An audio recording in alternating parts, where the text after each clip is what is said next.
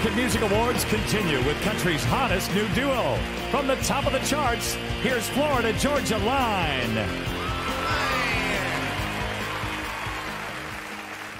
Her new album Red had the biggest first week for any any any record in over the, the whole decade. Sold over 1.2 million records. She'll perform live on New Year's Rockin' Eve next month in Times Square. Here's 11-time winner and our girl T Swizzle, Taylor, Swift.